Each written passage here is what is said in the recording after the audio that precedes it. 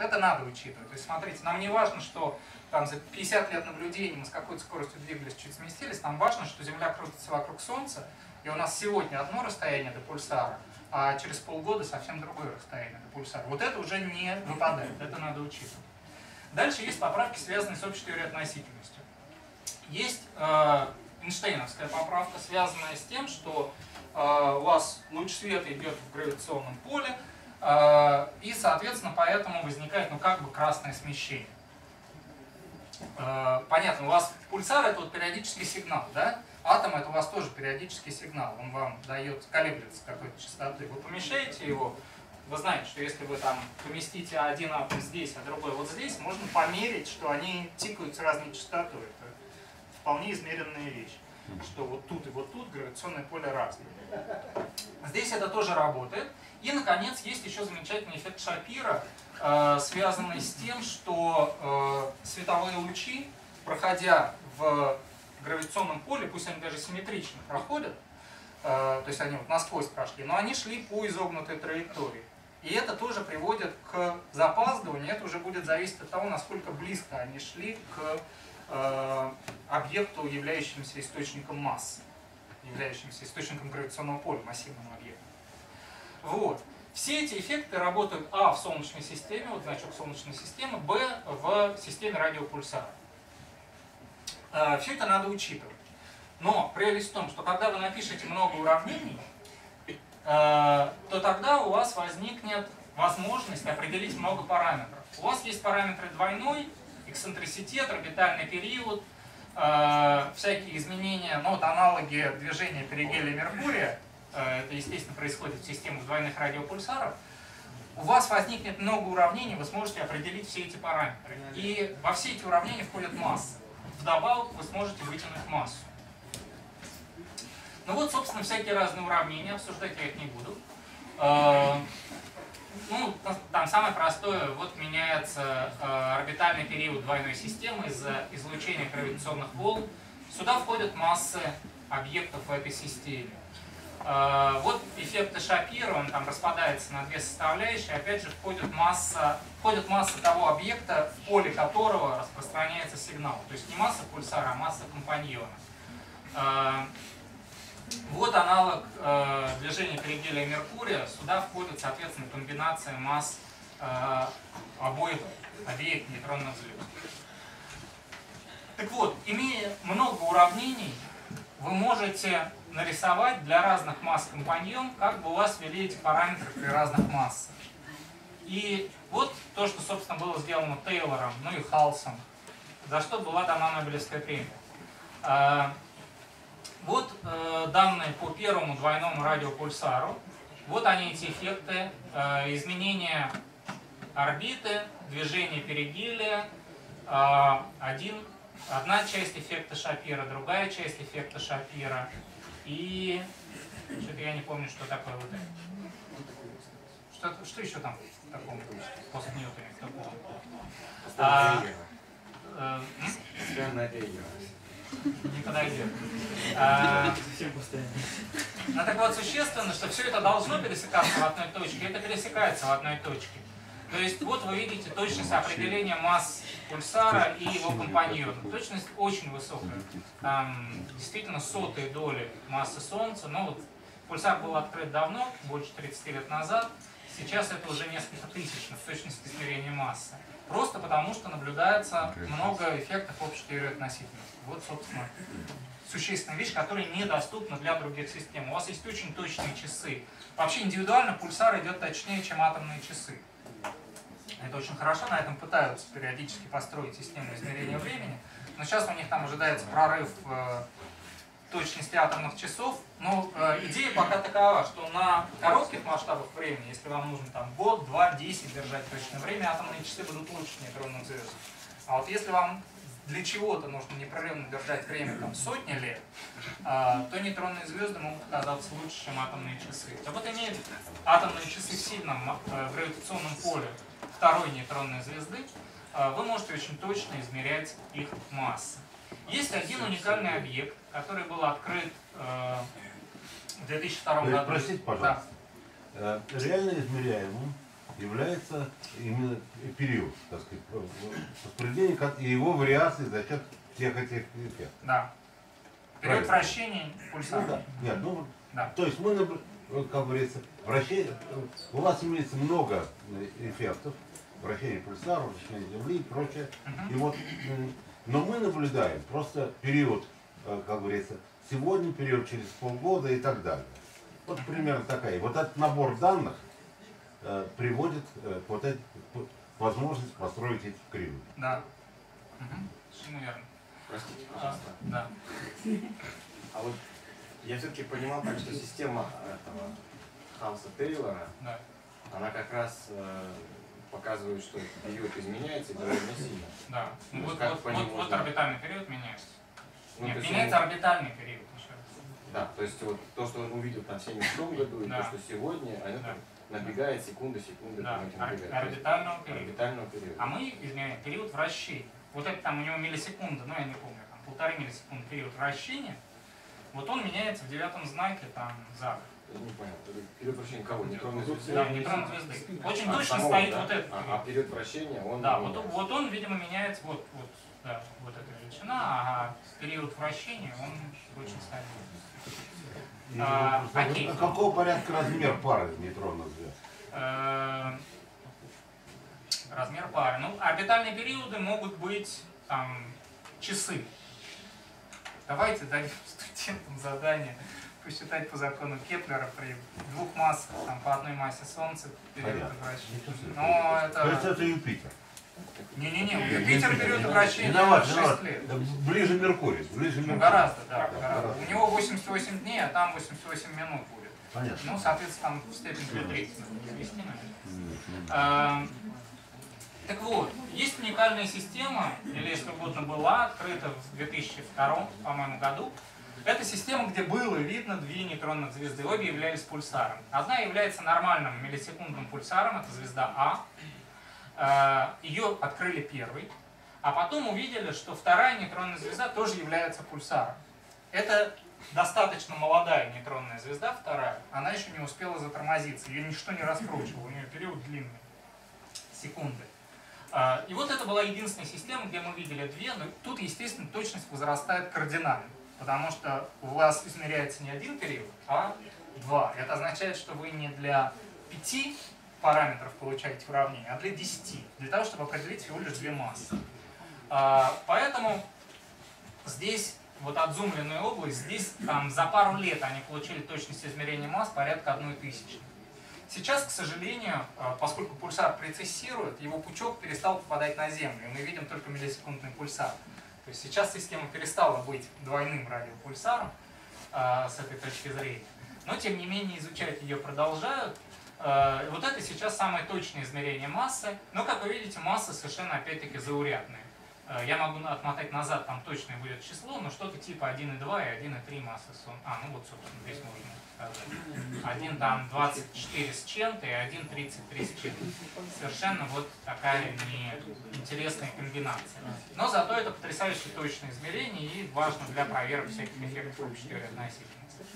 Самое массивное... А, а, прецессия такой нейтронной звезды тогда тоже будет гораздо быстрее, чем у, скажем, планеты? Или а, да, ну вот она там за десятки лет, по-моему. То есть есть шанс, что да, скоро вот, да. студенты там скоро смогут снова увидеть. Я не помню период, но студенты студентов смогут. Студенты, я не помню, честно, период. Студенты студенты факультет. Десятки лет такой, да, период. А, самое, да, нам интересно измерять большие массы, вот существенно. Поэтому 1,3 нам абсолютно не интересно, даже если измерено с колоссальной точностью. Интересно измерять большие массы. Это нужно лучше делать в системах с белыми карликами, потому что там нейтронные звезды массу могут набрать. В паре нейтронная звезда, нейтронная звезда мы не ожидаем большой нейтронной звезды, потому что ей неоткуда было набрать много вещества. А в системе с белым карликом это было возможно. И вот есть уникальная система, ну, красивый телефонный номер я не выписал, она, естественно, называется там PSR, J, что-нибудь. Э, она совсем недавно была точно промерена, открыта была давно. Поскольку система с белым карликом, они не видят уменьшения орбитального периода, там, движение перигелия, зато они видят эффект Шапира. Видят его очень хорошо. Еще раз, вот здесь просто хорошая картинка, хорошо объяснить, что такое эффект Шапира. Вот смотрите, вот пульсар, вот объект, создающий граф поля. Здесь сигнал от пульсара э, не проходит вблизи этого объекта, и никакого особенного эффекта Шапира нет. Здесь сигнал проходит в непосредственной близости от объекта, и возникает очень сильная поправка по времени, э, которую люди измеряют. Ну вот теоретическая форма эффекта Шапира, а вот эти штучки это наблюдение с ошибками. То есть видно, что все прекрасно ложится куда надо. И это позволяет очень точно определить массу. Вот, а, здесь, естественно, время, а здесь временная поправка. Я боюсь соврать в чем. Следуя веянием времени, я скажу, что в наносекундах, э, но я не уверен, что это наносекунды. В общем, это просто вот какие-то мелкие доли секунды. Э, соответственно, э, мы получаем какое-то распределение, естественно, по массам, никогда не получается одно значение. Э, в зависимости от неопределенности разных параметров, это будет такая кудрявая величина, но нас интересует, собственно, вот это. Масса пульсара, а это вероятность того, что масса такова. Ну вот центральное значение это 1,97, и ошибка невелика. Ошибка там 7 сотых или 4, сигма, по-моему, 4 сотых здесь. Э, это самая массивная нейтронная звезда у тех, у которых масса измерена с достаточной точностью. То есть с там, многими сигма масса больше, чем, скажем, 1,8, 1,85 масс Солнца. Ну и в пределах сигма она больше, чем 1,93. Это означает, что если ваше любимое уравнение состояния не дает массу, вот неопределенность, это сигма нарисована. Если у вас вот это любимое уравнение состояния, то, скорее всего, у вас большие проблемы, потому что вы несовместимы с этим измерением на, там, наверное, 4 а то и на 5 сигма. Это плохо. Если у вас вот это любимое уравнение состояния, то вам пора менять любимое уравнение состояния. А, это заведомо несовместимо с этим результатом. Ну, если вы в него верите, пока нет никаких оснований в него не верить, он действительно выглядит очень хорошим. Результат, конечно, перепроверяли, и вроде бы там все ошибки посчитаны аккуратно. Сергей, ну это значит, что уравнение состояния вообще не годится? Или оно просто не, не годится вообще, типа, вообще не годится. Типа, вообще не годится. То есть там частицы взаимодействуют не так, как ты изложил руками. Соответственно, сразу можно сказать, что измерение массы вблизи двойки свидетельствует в пользу жестких уравнений состояния, самые мягкие все отпадают. А, странные звезды можно сюда дотянуть. Вот здесь показаны там два когда-то популярных уравнения, но есть уравнения, которые сюда легко дотягиваются. В общем, странные звезды пока не увидят. А, Самая массивная измеренная на сегодня нейтронная звезда – это так называемый пульсар «Черная вдова». Кто такая черная вдова? Это такой паук. Почему он черная вдова? Потому что самка убивает самца. А, так вот здесь пульсар, а, раскручиваясь звездой, раскручивается до такой степени, что своим пульсарным излучением звезду полностью испаряет потом. Поэтому он называется черная вдова. А, но пока он испарил не до конца звезду, мы видим двойную систему. И здесь центральное значение измеренной массы вообще 2,4 массы Солнца. Но зато, видите, довольно большая сигма. В сигму как бы никто не верит никогда, все верят в 3 сигмы хотя бы. Но в пределах 3 сигмы это легко добирается до двойки. И поэтому это не выглядит ограничением существенно более сильным, чем у Терри. Поэтому пока люди предпочитают вот этот пульсар J1614-2230 Э, считать э, самым таким сильным ограничителем. А здесь слишком большая сигма, это значит, что вообще там может быть какая-нибудь неучтенная систематика, и масса потом сползет. Сергей, а можно да. вопрос по предыдущему этому? Есть состояние, да? Казалось бы, э, все, что ты меряешь, это там орбитальный момент э, одной звезды относительно другой и собственное вращение, если вы его тоже видите какое отношение имеет внутреннее устройство в каком состоянии? Ну еще раз, ты меряешь массу, а тебе не всякое уравнение состояния дает получить такую массивную нейтронную звезду. А, у тебя просто... Да. То есть уравнение состояния, оно тебе в частности что показывает? Сколько вещество выдержит до коллапса. То есть понятно, вот, э, вот представь, что один стол стоит как есть, а другой пенопластовый. Да? Я вот беру так, прыгну на него. А, если бы он был пенопластовый, то, соответственно, проваливается. Вот мы узнали уравнение состояния. Можно вопрос? Да. А радиус их примерно измерили? Нет. Вот поэтому прямая линия. А, да, хороший вопрос, но давайте я сразу не отвечу. Активность радиопульсара определяется процессами в магнитосфере. И на поверхности это не завязано вообще никак. Да, поэтому нет никаких путей. Вот то, что мы очень точно измеряем массы, и это всегда будет вот такая линия, провести хоть что-то широкое здесь, нет никаких пока видимых способов для обычных двойных систем. Ну, если бы, на самом деле они просчитаны, то есть люди считали траекторию звезд и ничего не попадает. А у меня тоже вопрос еще к предыдущему, там где-то и Шапиров показывал да, замедление. А вот здесь нет эффекта увеличения яркости? Когда ну, наверное, Яшков. Не-не-не, это, это время. Есть линзирование, да? Да. А, я никогда не слышал, но мне трудно сказать почему. Ну, наверное, вот просто мало. Реализирование надо, чтобы очень, очень было. А здесь в одной и той же системе да. и массивное тело. Это слишком большие угловые размеры. Да, то есть все попадает внутрь того же, ты, ты тот же поток и перехватываешь. Нет, нет, подождите, а он разве излучает в этом конусе? Да, он излучает в конусе. А почему в конусе? Ну, излучение направлено, ну так вот не, не, не, Разве он не изотропный? Нет, не изотропный. Ну, мы поэтому видим пульсирующие излучения, поэтому То есть этот эффект означает точно замедление сигнала? А, запаздывание. Запаздывание сигнала за счет гравитационного поля. Да, но за счет того, что он более длинный путь проходит в гравитационном поле. Вот так идет, да? Сергей, а вот как бы так наивно можно было бы сказать, что можно поставить ограничение на радиус этого синего объекта. Если есть микролинзирование, да, это значит, что радиус у него должен быть много меньше. Может быть. Я, я не, там, там на самом деле, вот, на самом деле там вот в чем проблема. Э, проблема в том, что все это было бы хорошо, если бы у тебя был точечный источник. Вот в таких масштабах, в масштабах уже двойной системы, пульсар это не точечный источник излучает, когда большая область магнитосферы. Я думаю, это будет сильно портить. Но потом еще надо, наверное, чтобы этот компаньон был прямо на линии связи, чтобы было линзирование. А, ну вот для двойного пульсара я на этом не акцентировал. Представьте, ну вообще фантастика, что так повезло. Здесь всего три минуты было угловых. Три угловых минуты. Это нарисовать невозможно, на самом деле, в линии слились бы. А, если бы, вот ответ такой, если бы мы видели оптическое излучение или рентгеновское, то есть прямо с поверхности, то это был бы условно точечный объект. Тогда бы мы говорили о линзировании. А радиоизлучение, оно приходит от больших каких-то облаков частиц в магнитосфере с размером больше нейтронной звезды гораздо. Ну, больших, короче, частей. И поэтому мы не можем сказать. И вообще это может излучать такая протяженная область, поэтому я думаю, это еще мешает. Так, хорошо, про это значит, мы сказали, самое массивное, но пока не самое достоверное. А что значит вот испаряет излучение? А, просто реально греет. То есть у вас нормальная звезда. А, просто нагревает. Да, просто нагревает и... Ну как, у вас как микроволновый ветер. Все точно, да? А, итак, почему э, пульсары массивнее в системах с белыми карликами? Потому что они здесь много наакрицировали. И вообще нейтронные звезды в двойных массивней.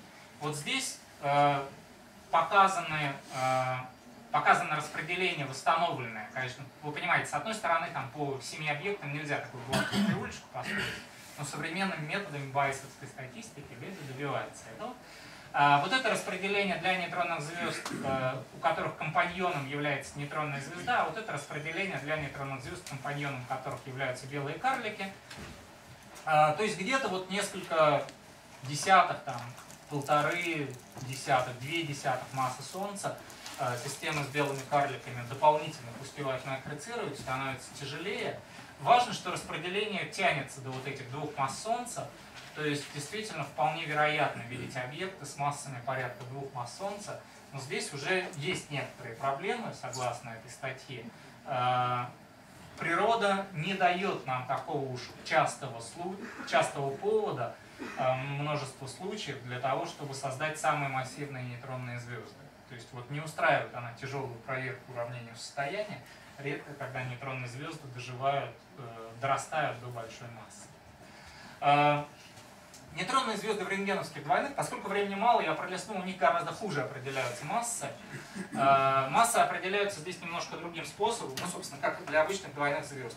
Вы просто видите, как система вращается, вы измеряете эффектом Доплера скорости, э, ну и все, дальше получаете пару простых уравнений. Если померили скорости, э, то у вас есть ограничение как минимум на массу. Если знаете, каким углом видите систему, вы это знаете обычно, если видите затмение в системе.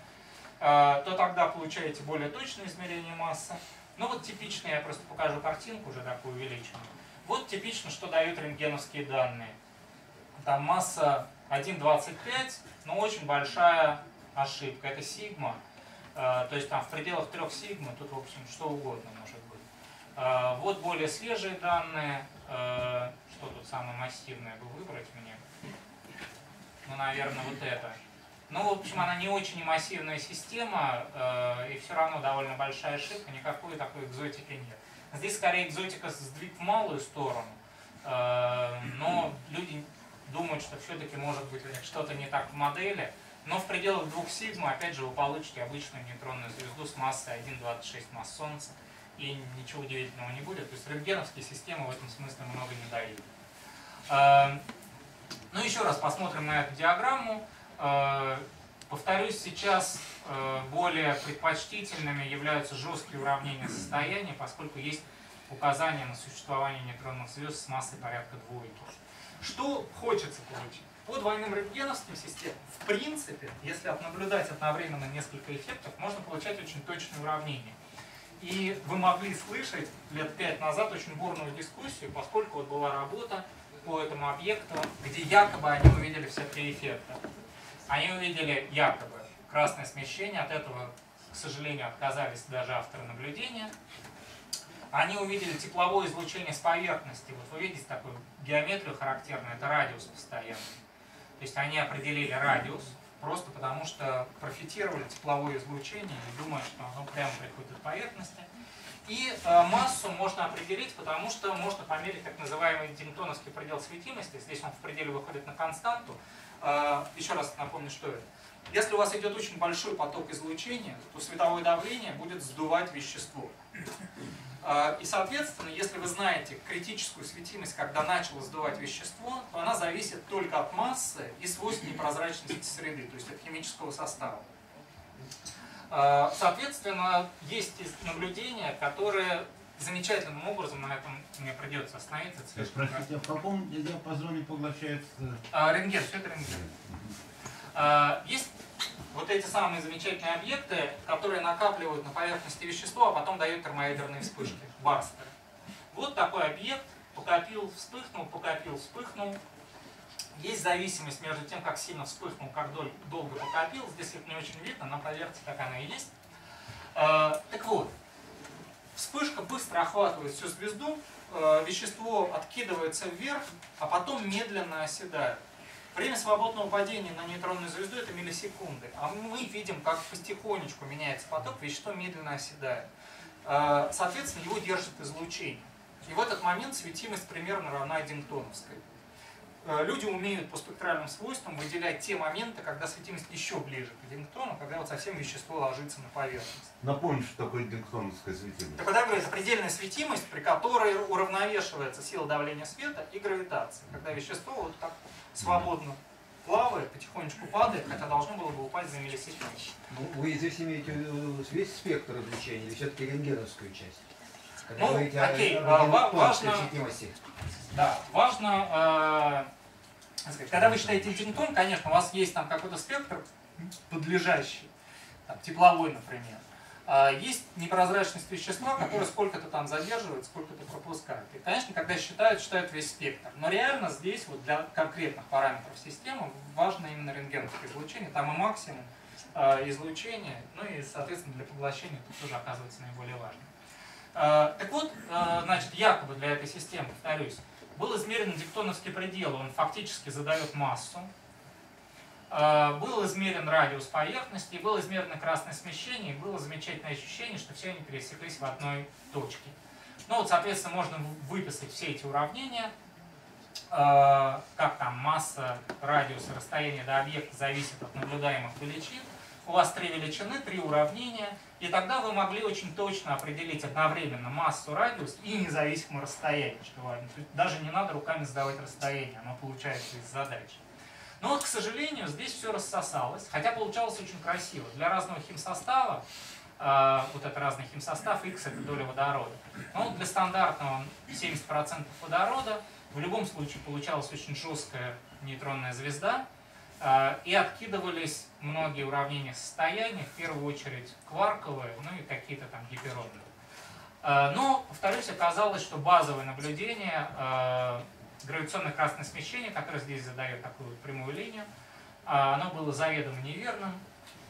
После этого все начало рассыпаться, и в итоге оценка массы получилась очень плохая, ничего не ограничивала. Потом работы продолжались, и та же самая оптимистичная группа людей получила новые оценки для других объектов. Вот опять-таки они получали очень маленькие области. Э, это четыре разных источника. Э, но снова пришли, в данном случае оспаривались не наблюдения, а оспаривался метод оценки. Здесь они руками задавали очень хорошо якобы известное расстояние.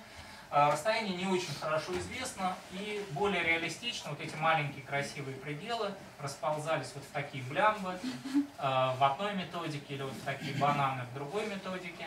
И снова оказывалось, что пока ограничения сделать не получается. Но, повторюсь, понятно, что рентгеновские наблюдения в принципе могут дать вот такие области. Пусть конкретная группа, значит, все время слишком оптимистична э, в своих указаниях, но, тем не менее, метод работает, и нет сомнения, что лучшие ограничения на уравнение состояния, скорее всего, будут получены именно с помощью рентгеновских наблюдений. То есть, как понимая, в какой аудитории нахожусь, я бы сказал, что для того, чтобы изучать ядерное вещество, нужно строить не только ускорители, но и рентгеновские телескопы и запускать их в космос. Ну, пожалуй, да, это я пропущу. Э, есть еще один метод. Э, пока он дает верхний предел, он дает оценку радиуса. Есть очень красивый эффект, э, связанный вот с чем. А можно там вот потыкать и запустить этот мультик кликом? Я не буду пробираться. Представьте, что у вас вещество течет на компактный объект, неважно, нейтронную звезду или черную дыру. Вот оно течет, здесь оно движется к нам из-за эффекта Доплера ярче. Задняя сторона диска к нам повернута, поэтому диск не выглядит как граммофон, э, граммофонная пластинка. Э, здесь все темнее, потому что движется от нас, из-за красного смещения все сдвигается. Э, может быть спектральная линия, это линия железа. Так вот, у линии железа отрастает такое красное плечо. Ну, можно еще раз запустить, пускай оно крутится, пока я говорю. Отрастает красное плечо. Почему? Потому что излучение приходит из самых внутренних частей диска. И здесь оно испытывает большое гравитационное красное смещение. И, соответственно, можно, э, зная массу, определить внутреннюю границу диска. Потому что это там, например, последняя устойчивая орбита.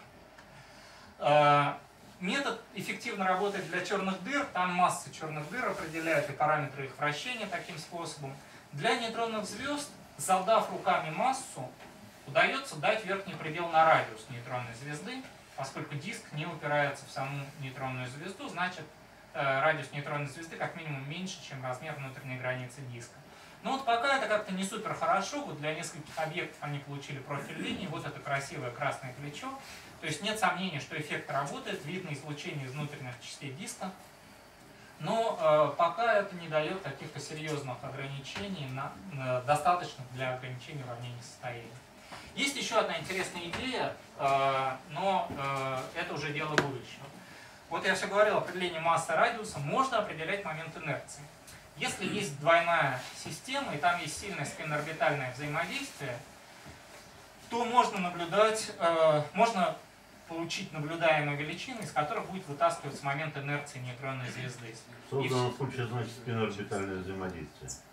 А, в данном случае у вас, ну да, это в общей теории относительности у вас будет взаимодействие спина, ну, вращение, собственного вращения нейтронной звезды с орбитальным вращением.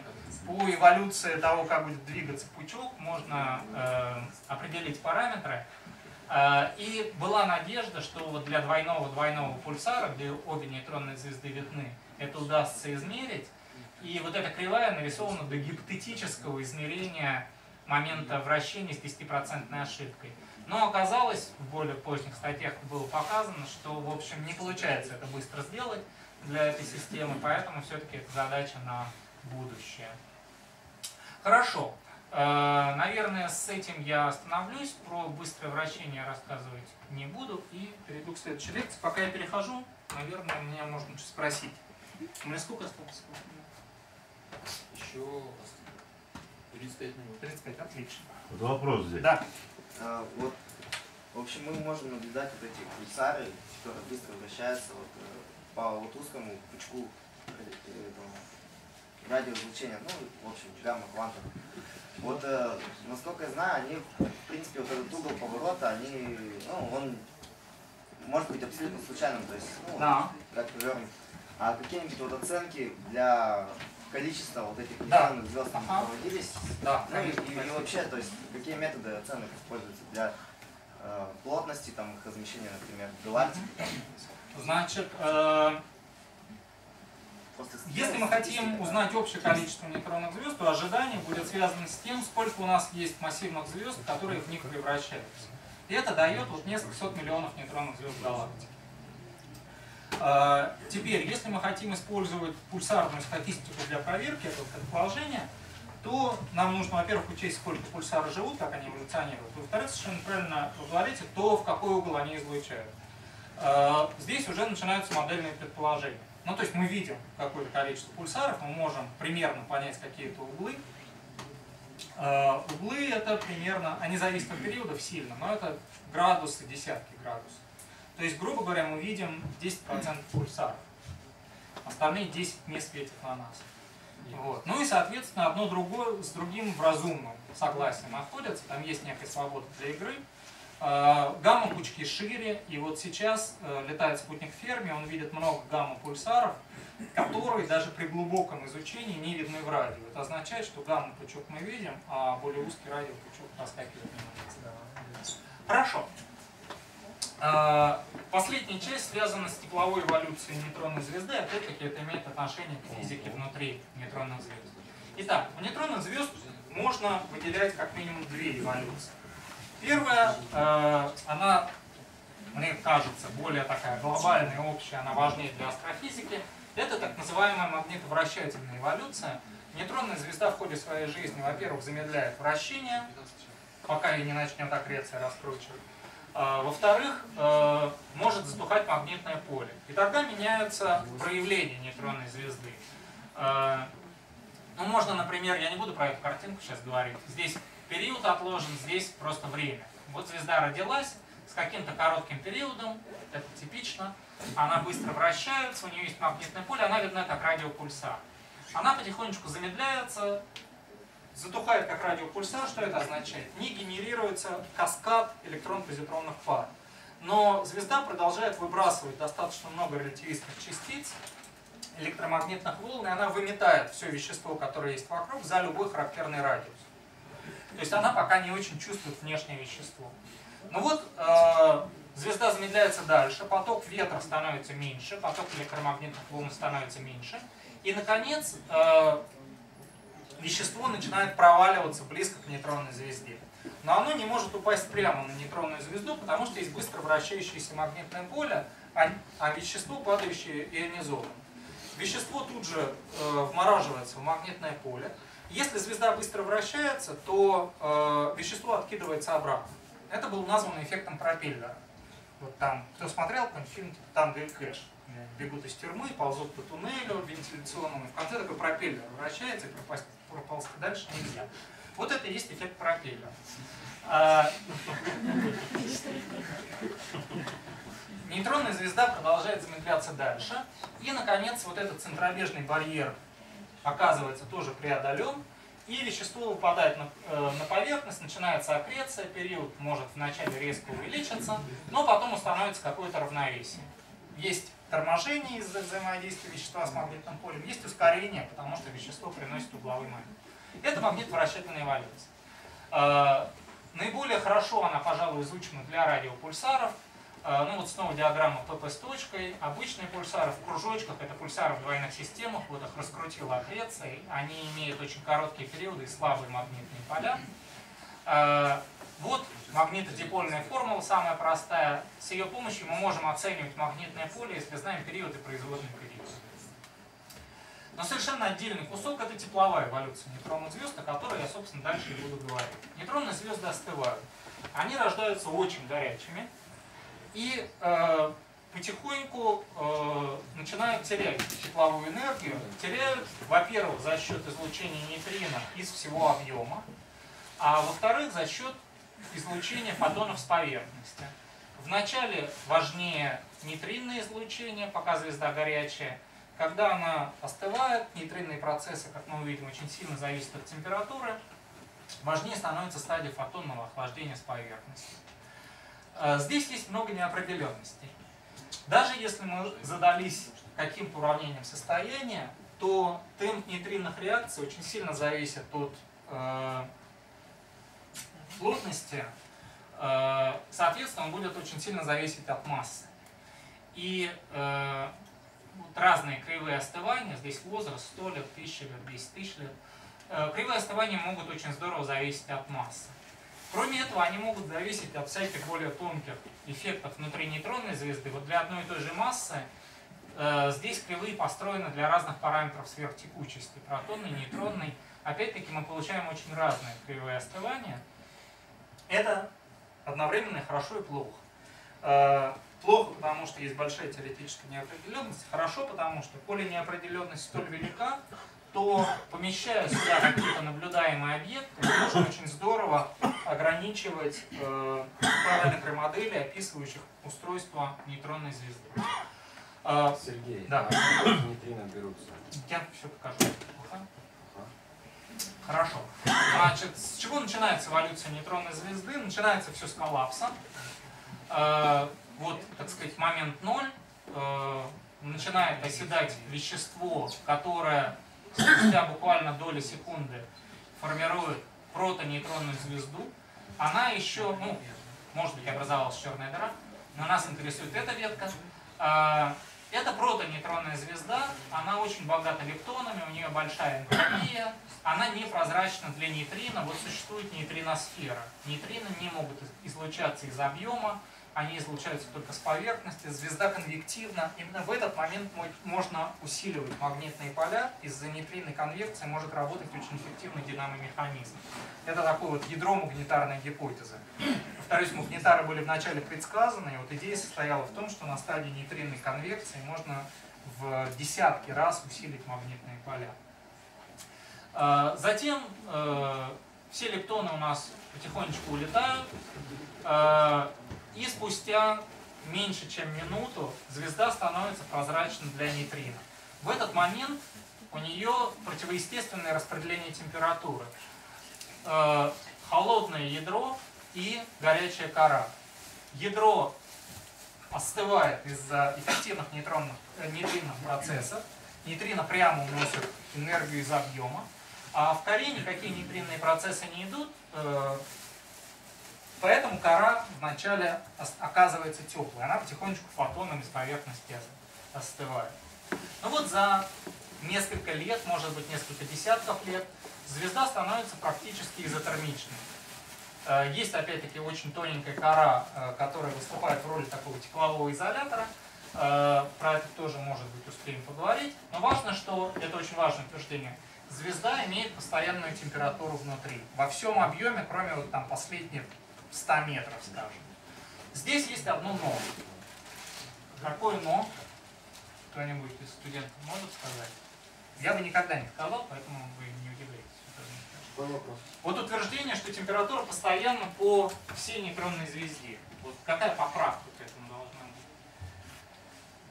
Что там все-таки не так, почему температура известным образом будет отличаться? Не так там то, что очень важны эффекты общей теории относительности. Смотря откуда меряется? А, нет, даже физически, если будете вносить градусник, у вас а, изотермичность, вот баланс, что тепловая энергия никуда не течет, у вас в уравнение войдет а, параметр, который связан с а, гравитацией.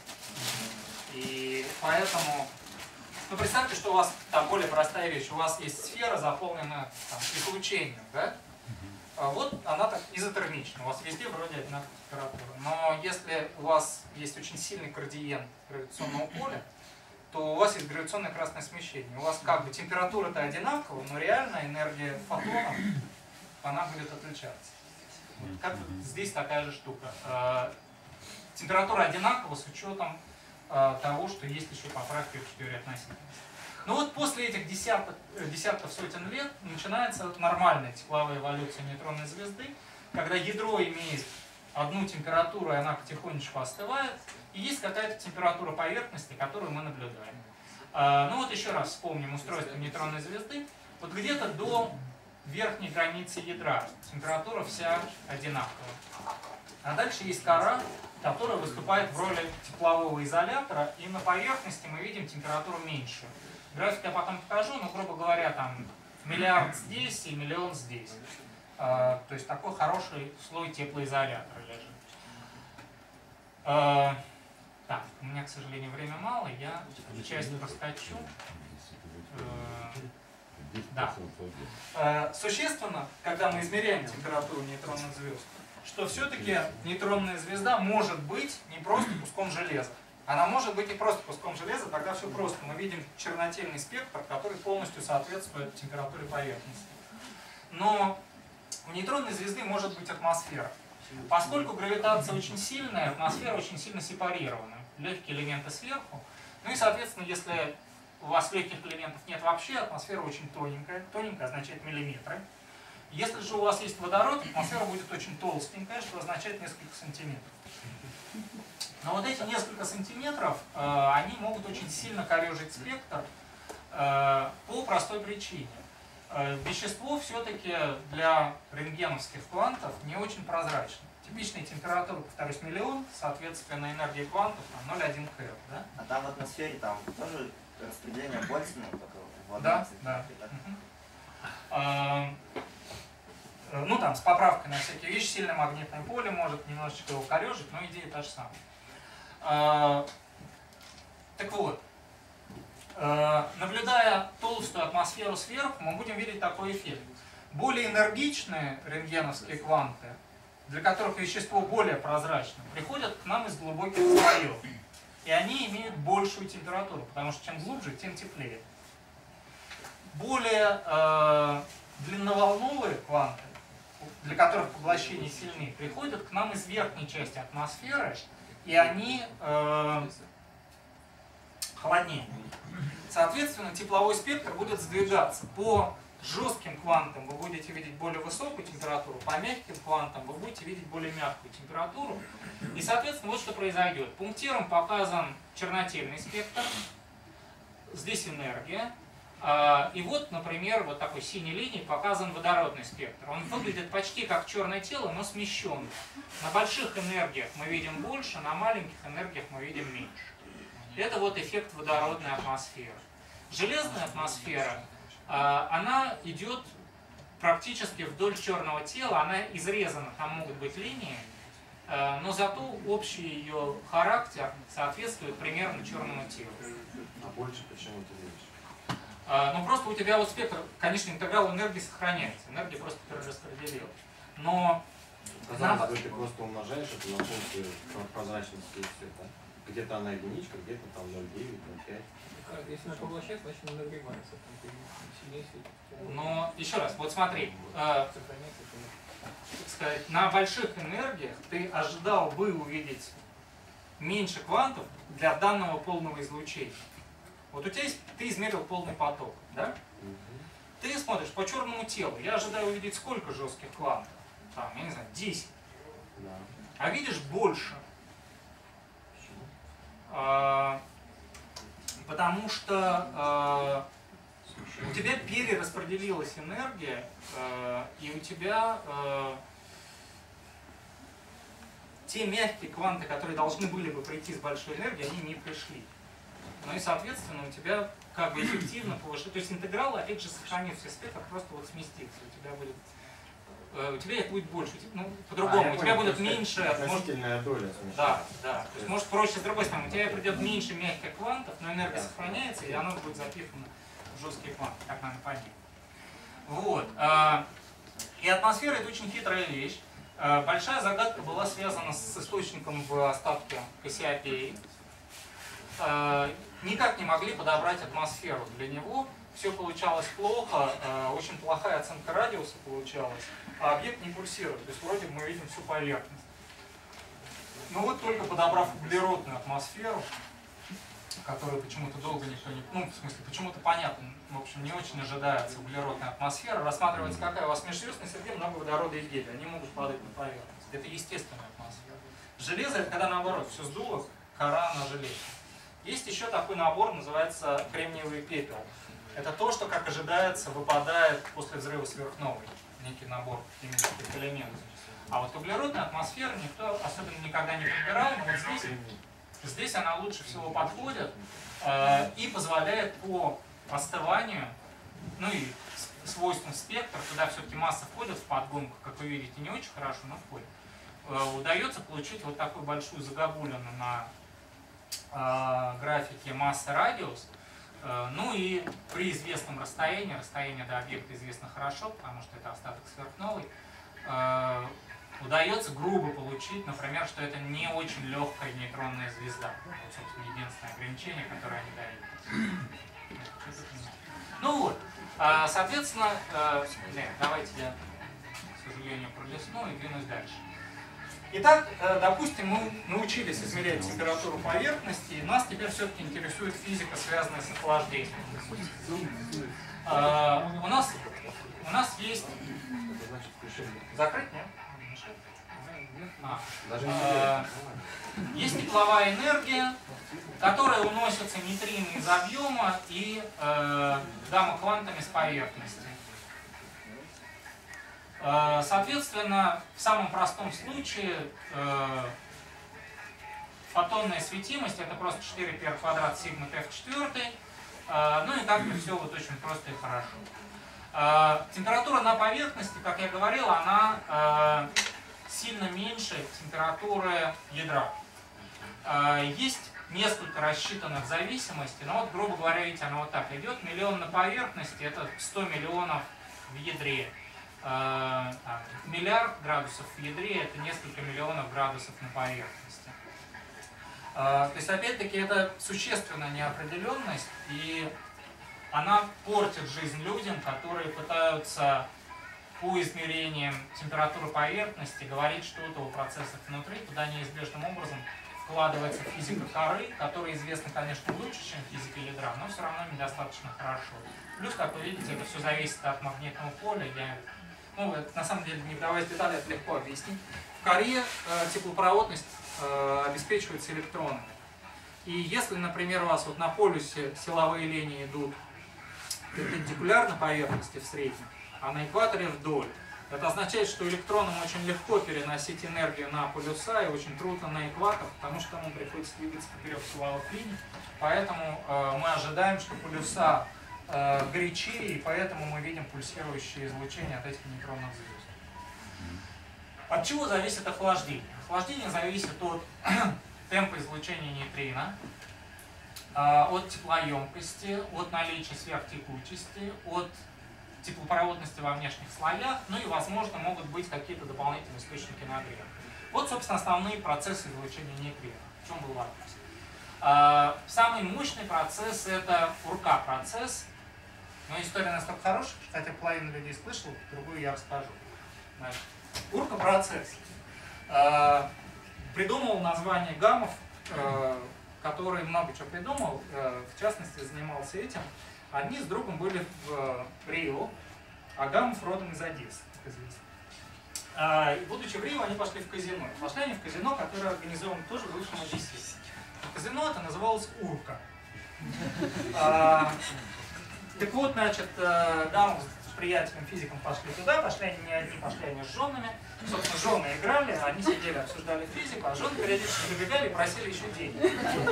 И обсуждали они вот, видимо, примерно такой процесс. И Гамов сказал, что здесь энергия теряется так же быстро, как деньги в казино Урка. И он назвал это Урка-процесс. То есть это не аббревиатура.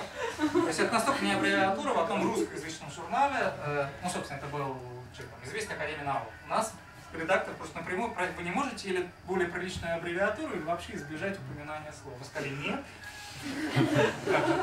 Э, вот, значит, есть Урка-процесс. То есть какой? Самый первый? Да. Ну, соответственно, прямая реакция обратная. Ну, а, аналогичные процессы могут быть на э, ионах, каонах и кварковой материи. Это очень эффективное энерговыделение. Э, ну вот лучше всего оно идет в обычной э, ядерной материи. Э, иногда этот процесс не идет. Не выполняются условия на сохранение импульса и нет эффективного прямого ВК-процесса. Вот питерская группа, они очень любят еще другие аббревиатуры. Есть вот прямой ВК-процесс, а есть модифицированный ВК-процесс. Он идет всегда при любой плотности. Здесь фигурирует еще один наклон, который позволяет вам сохранить импульс он идет, как вы видите, с гораздо меньшим энерговыделением, зато идет всегда. Соответственно, Modify турка и Direct турка они называют Мурка и Дурка.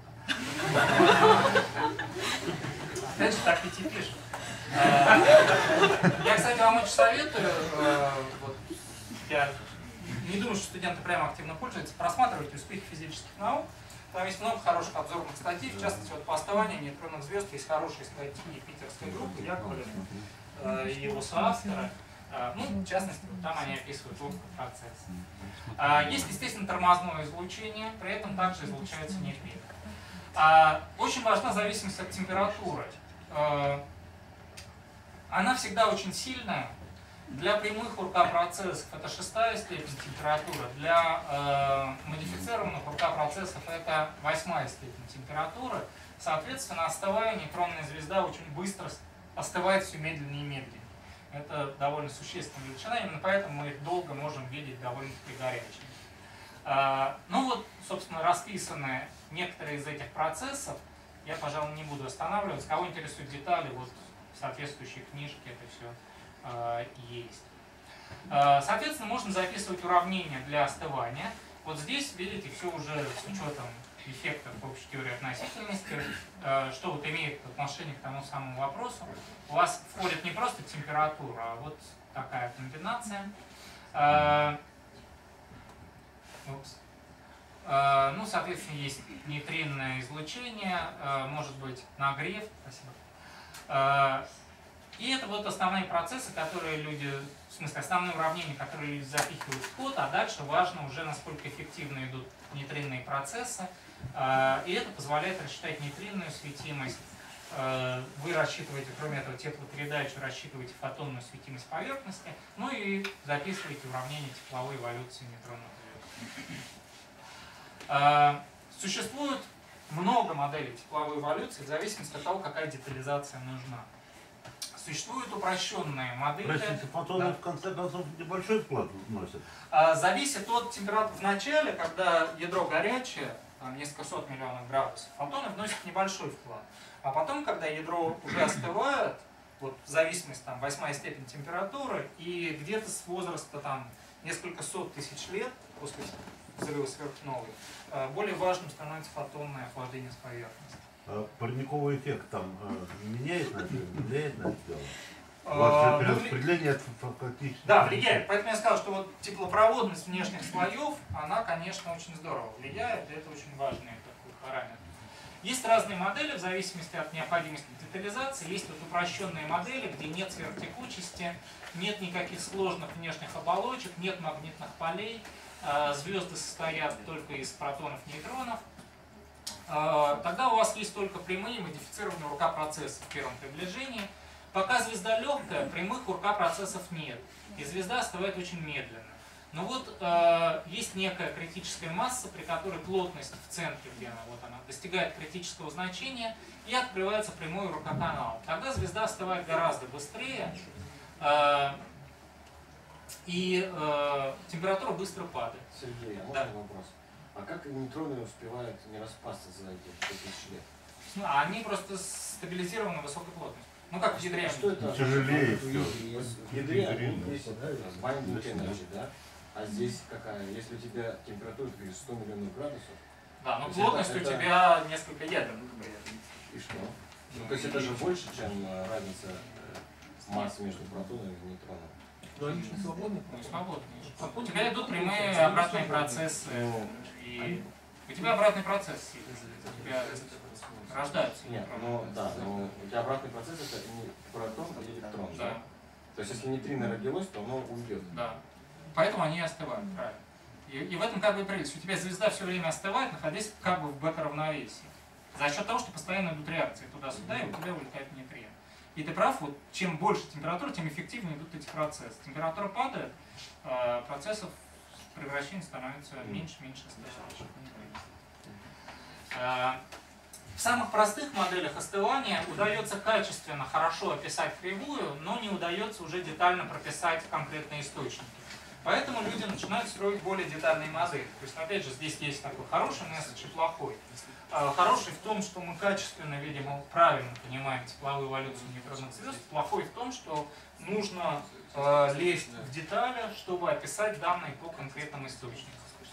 А, ну вот если нет никакой сверхтекучести, смотрите, какой резкий скачок. Вот нет прямых УРК процессов, а вот масса стала всего на одну сотую больше, включились прямые РК процессы, объект очень быстро остыл. С одной стороны, вроде бы вы все можете объяснить, но получается у вас, что у всех этих объектов массы одинаковой с точностью лучше, чем одна сотая масса Солнца. Это очень противоестественно, этого не хочется. Э, этого не хочется, и поэтому такая модель тоже как бы считается э, не самой удачной. Дальше люди начинают играться, так, ну я вынужден пропускать какие-то вещи, а, играться со сверхтекучестью. А, сверхтекучесть может быть у протонов, у нейтронов, может быть в ядре и в коре, но в коре не может быть сверхтекучих протонов. А, соответственно, возникает как минимум три варианта для включения сверхтекучести. Микрофизика здесь изучена плохо, и э, люди часто пользуются феноменологическими такими кривыми, которые напрямую не связаны с какой моделью, но моделям не противоречат, и все получается как бы умеренно хорошо. Сверхтекучесть дает двоякий эффект. С одной стороны, сверхтекучесть запрещает прямые рукопроцессы, то есть нейтронные звезды не начинают остывать очень быстро. С другой стороны, э, сверхтекучесть открывает дополнительный канал излучения нейтрина, но более слабый, чем при прямом рукопроцессе. И это очень хорошо, потому что получается, что у вас с одной стороны нейтронные звезды не падают там совсем в ноль по температуре, а с другой стороны расплывается э, полоса, э, которая без учета сверхтекучести давала одну такую уникальную кривую остывания. И э, такой большой успех, достигнутый там, в конце 90-х, начале нулевых годов, был связан с тем, что люди э, при реалистичных параметрах сверхтекучести э, научились Э, описывать остывание нейтронных звезд, э, используя реалистичное распределение масс. Э, тогда же сформировалась такая минимальная модель остывания нейтронных звезд, которая, если вам просто нужно что-то взять по остыванию нейтронных звезд, является хорошим, даже не нулевым, а первым приближением. Здесь нет прямых рукопроцессов, Э, но э, включены процессы, связанные со сверхтекучестью, и включены свойства вот этих внешних оболочек, которые являются теплоизоляторами. Но вот в рамках таких моделей удается э, объяснить данные. Квадратики это данные. Соответственно, есть неопределенность по светимости звезды, есть неопределенность в измерении возраста. Есть неопределенность, связанная с составом оболочки, Э, легкие элементы или тяжелые там доминируют. Но видно, что играя с вот этими параметрами, можно очень эффективно объяснять наблюдательные данные. Э, данных не очень много, на самом деле это не такое большое количество объектов. Данных мало, потому что для этого метода нужно очень точно знать возраста. А вот возраста известны нейтронных звезд независимым образом плохо. Как правило, они известны, если объект находится в историческом остатке, э, находится в остатке сверхновой. И тогда, определяя э, возраст остатка сверхновой, мы определяем возраст нейтронной звезды. Есть экстремальные случаи, это исторические остатки сверхновой, когда была видна вспышка, но такие случаи совсем наперечет, и, в общем, они э, большой такой роли здесь не играют. Э, про компактные объекты в остатках сверхновых я говорил, поэтому я проясню, кроме вот этого одного замечательного случая с наукой. Вот это очень красивое открытие, прошлогодний результат. Э, видно, как она остывает. Это совершенно поразительная вещь, никто не ожидал. Вот несколько лет, ну, собственно, 10 лет наблюдения, чуть меньше. Видно, как падает температура нейтронной звезды. Это, повторюсь, неожиданно, потому что это очень быстрая динамика. Типичный возраст типичное время остывания это все-таки тысячи лет, десятки тысяч лет, миллионы. А тут за 10 лет мы видим э, падение температуры на 4%. Это очень много. Э, и люди строят разные модели. Модель э, основная сейчас такова, что сейчас включилась протонная сверхтекучесть в ядре. Э, прямые рукопроцессы были запрещены. То есть звезда двигалась, ну вот, MU, ну, кому нравится Манчестер Юнайтед, хорошо, но вот это как раз та самая Мурка. Вот двигалась по Мурке, а здесь включился дополнительный канал. И звезда очень быстро начала переходить на новую траекторию. Э, то есть она потихоньку выйдет на то остывание, которое свойственно э, нейтронным звездам с протонной сверхтекучестью в ядре, а мы ее удивительным образом застали в этот переходный период. Событие маловероятно. То есть там про сигму говорить нечего. Но, э, может быть, вот такое невероятное событие случилось. Несколько независимых групп это посчитали, и, в общем, они неплохо умудряются описывать данные. Э, ну вот как выглядит PCIPA в сравнении с другими остывающими звездами. Это один из самых, ну, собственно, самый молодой объект с хорошо измеренным возрастом, для которого видно остывание. Это очень важно. Э, есть молодые пульсары, у которых свое излучение настолько сильное, что оно мешает видеть тепловое излучение поверхности. Но вот, видимо, мы поймали ее вот в этом э, удивительном месте, где происходит очень быстрое падение температуры. Хорошо. А, последний кусочек, который я просто назову за недостатком времени и своей неорганизованностью, а, связан вот с чем. А, есть идеи по поводу того, какие могут быть дополнительные источники тепла у нейтронных звезд. И, естественно, распад магнитных полей при затухании токов способствует нагреванию. Да? Если в сети есть электричество, вы можете включить электрический нагреватель. Э, так вот, точно так же можно греть нейтронные звезды. И для магнитаров этот эффект, по всей видимости, мы видим. Э, давайте какой-нибудь покажу такой график. Э, здесь по вертикальной оси температура, здесь возраст, здесь магнитное поле. Вот так выглядело бы кривое остывание для обычной нейтронной звезды, где влияние распада поля невелико. А у магнитаров поля распадаются, и они гораздо горячее, это видно. Это вот, собственно, точки, это реально наблюдаемая температура, а линии это теоретические треки. И, по всей видимости, есть группа объектов, для которых э, важны эффекты нагрева. Э, ну и кусочек, который я не скажу, если Чармен мне не даст еще 5 минут, связан вот с чем. Есть совсем экзотическая вещь, которая, тем не менее, сейчас очень важна.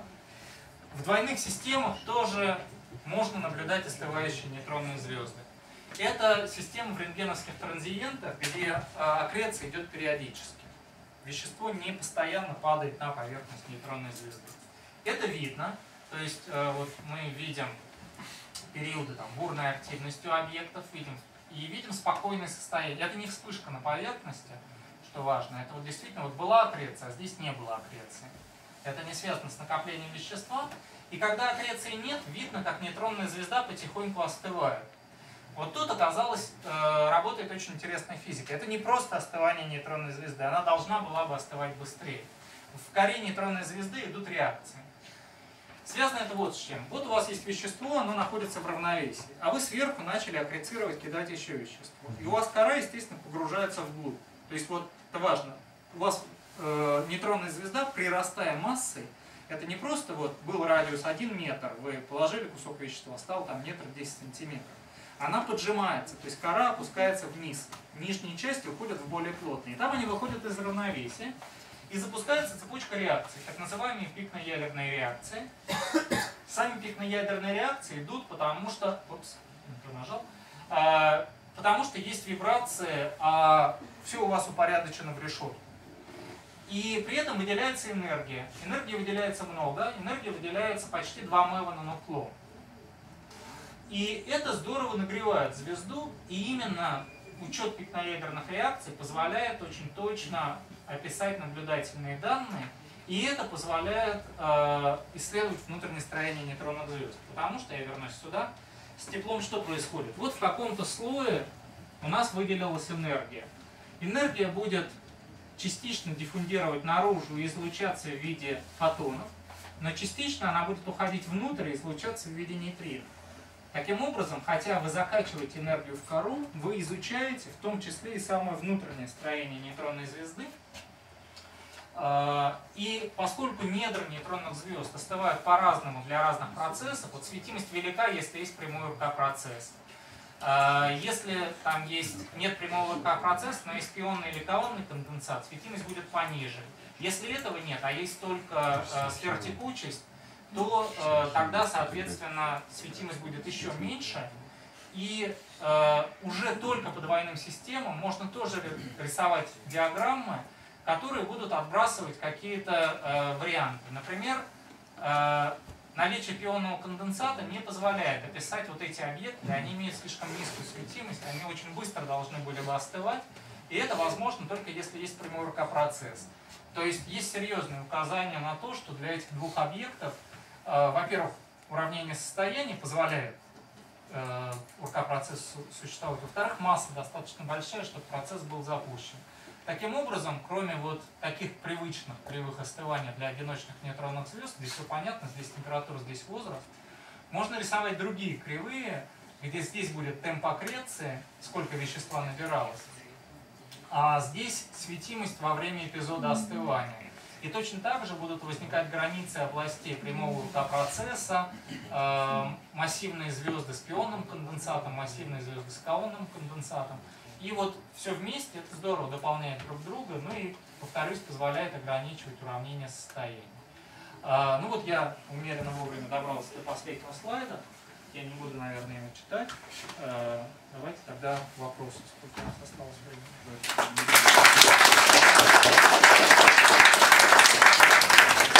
Вопросы?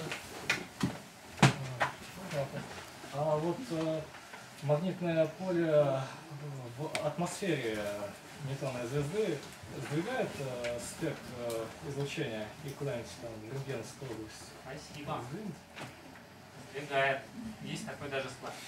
Э, итак, э, магнитные поля облегчают остывание, если они есть во внешних слоях, поскольку чем больше магнитное поле, тем легче у вас идет теплоперенос. Э, так, что мне нужно сделать? Так. Э, значит, э, нам нужна средняя картинка, наверное. Здесь показан только эффект магнитных полей. Э, красная линия соответствует расчету без магнитного поля, а вот черные кривые вверх, они соответствуют сильным полям. Вот 10-14, 10-15, 10-16. Ну и здесь то же самое для массивных звезд, без полей 12, 14, 15, 16. Э, большое поле соответствует тому, что нейтронная звезда вначале остывает быстрее, потому что легче тепло придается поверхности. Но поскольку тепла сколько было, соответственно, если много излучили сразу, значит меньше осталось на поток. Поэтому звезда ярче в течение первых там, тысяч лет, скажем, десятков тысяч лет жизни, но слабее э, при возрасте под миллион лет. Так что влияет. А по общему сдвигу спектра оцените магнитное поле. А, по сдвигу спектра, да, я неправильно понял вопрос. По сдвигу спектра. А, в принципе, можно, но пока реально не хватает э, точности. Да, картинка у меня не очень хорошая. Ну вот, смотрите, здесь зеленая кривая это без поля, красная это с полем для водородной атмосферы. На самом деле это не очень большое отличие. Э, то есть теоретически можно, практически Но пока при нельзя. полях 10-14 градусов там, А, там, сдвигается да, сильно, да? там сдвигается, да. Но опять-таки вот э, есть э, по тому пульсару, который плохо замедляется, да, э, там спектр как бы говорит о том, что поля все-таки сильные на поверхности, но пока вот точность расчетов моделей и точность наблюдений недостаточно для того, чтобы четко сказать. Но в принципе, да, это возможно. Они будут издвигать тоже спектр.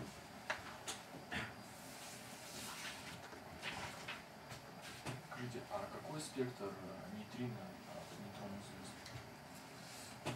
Ну, то есть нейтрино тепловые, То есть там да, ну, температура 10 8 10 9 да?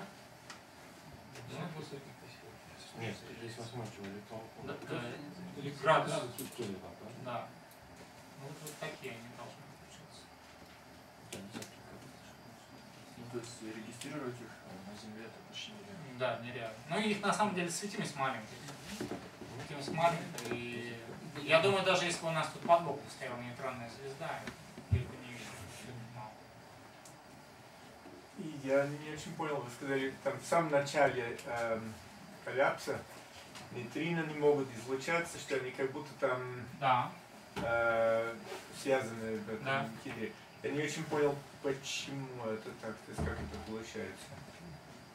А, плотное и горячее. И я, я, честно говоря, не помню относительно какой реакции большое сечение. Нейтроны просто Нейтральные связаны токи все. на ядре, самое большое сечение, удерживает нейтрино. Только нейтральные токи. Наверное. Ну, Ну а я ч- ну в смысле там просто обычно говорят там, ну, это самое, чтобы экра- экранировать э, нейтрино нужны были бы, были бы какие-то там световые годы материи.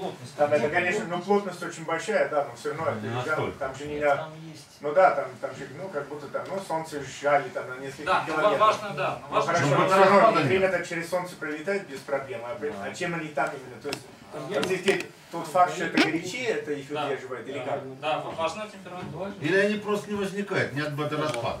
Не-не-не, возникает. Плотность большая еще. Не, ну, плотность такая же, Ну, как потом. плотность, ну, Она, такая была, такая осталась. Да, большая плотность внутри. А, и большая температура. Но Я не могу ответить. Рассеяние с участием. Это тот механизм, который удерживает. И он идет лучше при высоких температурах, да? Ну, а как это связано с Температура температурой? сколько там? Э, Там, 100 МФ не, ну, десятки. Температура э, есть довольно широкий за диапазон. два Главное плотность. Температура не сколько плотность чтобы удерживать. Чтобы пробег был меньше, ну скажем, грубо, радиуса э, нейтронной звезды. Вот принцип удержания. Ну правильно, но течение есть меньше. Течение с температурой делить на МЗ, э, на МЗ в квадрате. Что там говорить? Альфа температуру делить на. Ну, тогда высокая температура. Но 100 МФ это мало. Мы- 100 МФ на, МЗ это одна тысяча. Можно вопрос такой? Температура Как-. Какую вот частоту вращения нейтронной звезды, вот самую, так сказать, максимальную, можно измерить Ну, вот, сейчас? э, ну, измерить-то можно любую, но сам рекорд сейчас Рекорд напрямую измерить. точно измеренный, это 714 Гц. Чуть больше миллисекунды. Есть очень косвенные данные а, о частоте 1300 примерно Гц. Но в это не все верят, потому что это не прямые данные. Есть некое явление, которое связывают с вращением, и тогда вращение должно быть 1300. Вот. Ну, то есть, в общем, мечтой является достоверное измерение периода меньше 1 миллисекунды. Это пока не достигнуто, Мгм. но к миллисекунде подобрались очень близко. Ясно. Сергей, а еще вопрос. Какая-нибудь экзотика типа Олимпов может быть э, нейтронных звезд? Да, это смотрели, но вот то, что Игорь говорил, э, мало их туда попадает. То есть они динамически, не- ну, в общем, они ни на что не влияют. Нет, ну На том гравитационно они, могли там собираться. Правильно, но э, они очень плохо взаимодействуют друг с другом и с веществом. Э, с чего бы, ну вот там, почему внутри нас они не собираются? Потому что он берет и прилетает. Ну, примерно то же самое с нейтронной звездой. Они плохо, несмотря на то, что плотность выше, но вы набираете очень маленькую массу. Совершенно ничтожную. Люди, люди считали, какой будет эффект, как он будет влиять на остывание, например. То есть вы там меняете распределение массы, вы взяли просто нейтронную звезду, засунули ее в реальный космос, сколько-то она захватывает частиц темной материи, но вот захватывает мало. То есть это ни на что не влияет. На, на том уровне наблюдения, какой есть.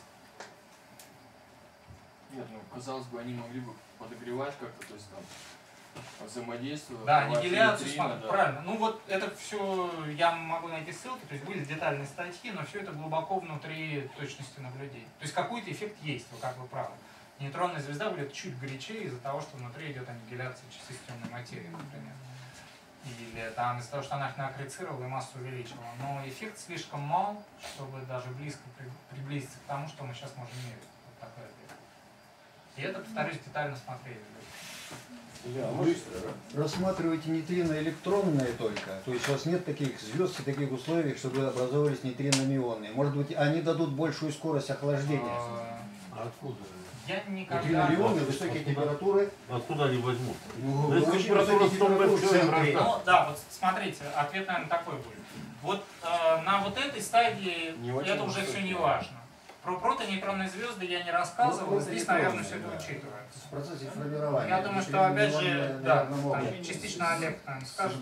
То, что- Ну, масса пиона Сергей, 130 это же не метров. высокие температуры. А температура 100 метров, значит, они почти не рождаются. Ну, в самом начале, вот во время сверхновой, Нет, я там говорю, могут надо больше, надо, надо вверх. Ну вот, ну вот, а спустя Ну, 400 секунды хватит. уже... 400 хватит.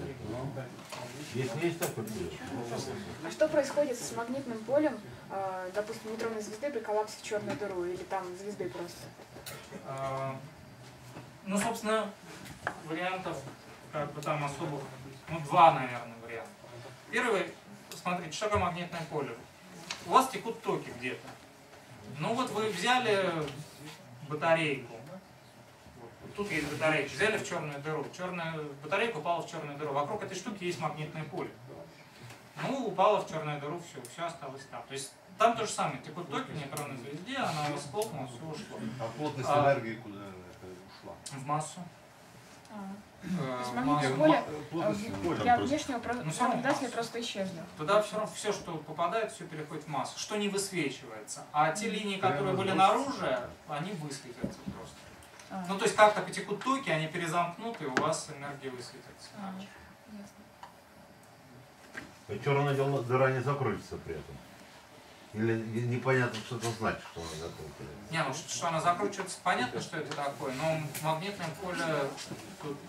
Ну, в смысле, магнитное поле ни при чем, если вопрос с этим. Но если был момент вращения, он никогда Ну не да. денется, черная дыра будет вращаться, вокруг будет там эффект лензы Тиринга какой-то, увеличение системы отсчета. Вы называли рентгеновский телескоп, который сейчас летает. Еще раз скажите это название. Как- А, значит, ну, если рентгеновский, то летает Чандра и. Во. Так все-таки где плотность больше, в ядре или на поверхности? И плотность к центру всегда выше. То есть плотность падает только в Не, одну. ну так вот если прикинуть, то у нее где-то на поверхности, ну чуть подальше от поверхности, скорость вращения ну, частиц будет близка к скорости света вообще. Ну, близка, да. Ну, там Ну, 0,1. значит, она же сжимается, значит, там плотность будет больше. А, да, у меня не в этой лекции. Ну, смотрите, да, если у вас серьезный эффект вращения, да, то у вас а, звезда сплющивается, она сплющивается на плюсах, растягивается тут, а, ну и, соответственно, распределение плотности, это вот такие эллипсоиды вращения. Ну, собственно, все точно так же, как если вы возьмете И тогда можно предельный радиус просто поставить. из чего? Ну, зная то, что скорость же не может быть выше скорости света. Но еще раньше она будет истекать. Все правильно, но более жесткий даже предел. У скорость убегания всегда меньше скорости света. И поэтому, если она стекает, то тогда это более жесткий предел. То есть все правильно вот на том графике, да, не в этой лекции. Ну, вот помните, красный график, где было написано rotation. Вот то, что вы говорите, будет точно такая же линия, но стоящая чуть э, выше. То есть это будет более слабое ограничение. Ниже. Да. Не, э, выше. Чем больше скорость, тем меньше... А, да, выше. Да. Все. Ну окей, да, правильно. Да. Запрещенная область. Да, да. Запрещенная область уменьшится. Так, ну если нет больше вопросов, давайте.